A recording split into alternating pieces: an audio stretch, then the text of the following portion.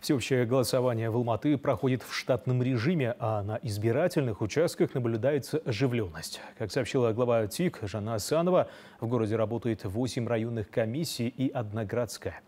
Из городского пресс-центра выходит с нами на прямую связь Максим Козлов.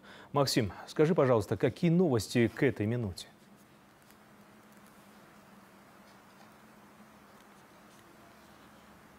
Диас, доброе утро. Новости пока такие. В Алматы голосование началось согласно законодательству. В городе открылось 600 избирательных участков. Работу свою они начали а, в 7 часов утра по времени Астаны. Есть, конечно, и исключения. Это участки, которые открыли свои двери в 6 утра. Это воинские части, следственные изоляторы и другие спецучреждения. Связано это прежде всего с их особым распорядком дня. Кстати, сейчас идет прием заявок на выездные комиссии. Их подать могут те, кто не может физически присутствовать в избирательном участке.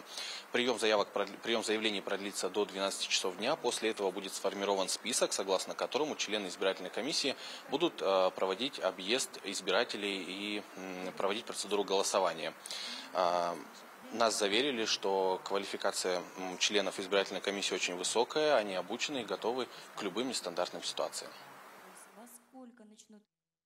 Они проходят обучение, тренируются, отрабатывают все кейсы ситуации, потом а, уже идут в район и работают с членами участковых комиссий. То есть вначале с председателями, потом с секретарями, потом со всеми членами. Это называется каскадный метод обучения.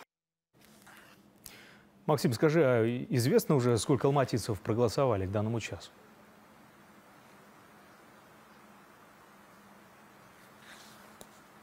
Диас, пока официальной цифры нет, э, возможно, мы узнаем ее чуть позже. Следующий брифинг у нас пройдет с участием международных наблюдателей. Мы будем держать вас в курсе событий. Диас. Спасибо, Максим.